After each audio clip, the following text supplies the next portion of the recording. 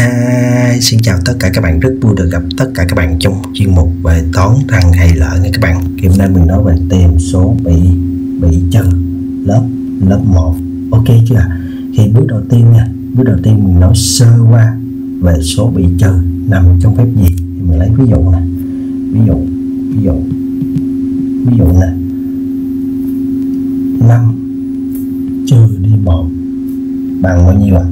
Khi các bạn lấy 5 que 1 2 3 4 5 được chưa ạ trừ là bớt đi, là cho đi, là giảm đi, là giấu đi, là cất đi. Thì các bạn cất đi một que nè.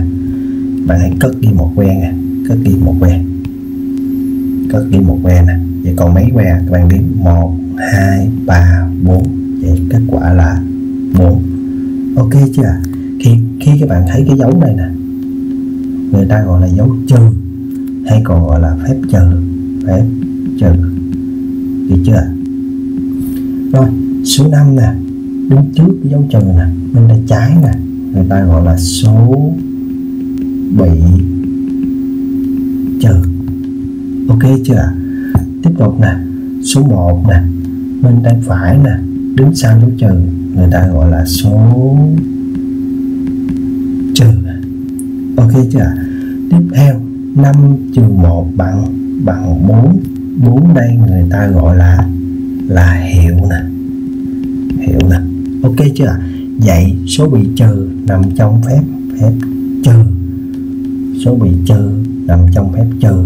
Phép trừ thì gồm có số bị trừ, số trừ và hiệu. Ok chưa rồi bây giờ mình sẽ cho một ví dụ. Các bạn hãy phân biệt giúp mình đâu là số bị trừ, đâu là số trừ và đâu là hiệu nha các bạn.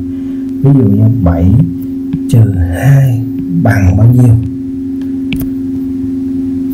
Rồi, các bạn hãy xác định giúp mình đâu là số bị trừ đâu là số số trừ và hãy xác định hiệu bằng bao nhiêu giúp mình nha các bạn.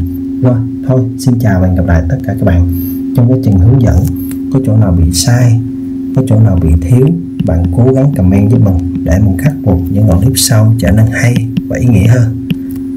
Rồi, xin chào và hẹn gặp lại mọi người. Xin cảm ơn. Bye bye.